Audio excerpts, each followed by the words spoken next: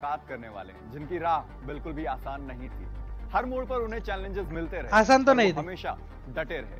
अपनी मेहनत और डेडिकेशन से उन्होंने खुद को इस मुकाम तक पहुँचाया है। You can love him you can hate him but you can not ignore you can love him you can hate him but you can never be him.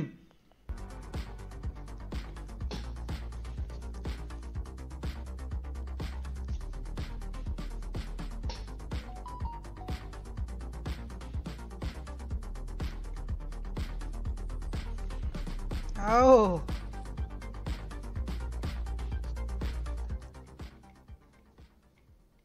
Actually मैं बचपन से डब्ल्यू डब्ल्यू बहुत देखता था।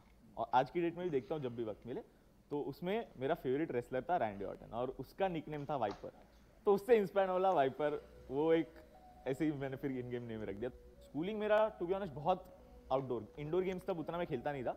इंडोर गेम्स मेरा latest stage में शुरू हुआ बट पहले इतना आउटडोर खेलता था कि मैं सुबह से आई गेस दस बजे मैं अगर वेकेशन का बात कर रहा हूँ, दस बजे मैं क्रिकेट खेलने उतरता था घर से।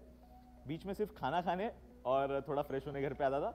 बाकी पूरा दिन दस अलग तरीके की गेम्स खेलते थे, सुबह से रात तक नीचे रहते थे। मतलब आई रिमेंबर सुबह दस बजे निकल के रात में ग्यारह बजे मैं घर पहुँचता था। इतना खेलता था वहाँ। मुझे याद है, मैं जस्ट तब नया नया अ, एक कंसोल लिया हुआ था एंड उस वक्त उसका क्रेज एकदम टॉप पे था जस्ट रिलीज़ हुआ है और मुझे खेल Mortal? Somebody asked me why Mortal not in video.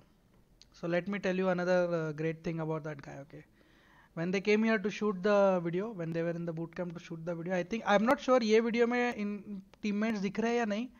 Let me just quickly check. I think इसमें yes. So you can see the teammates.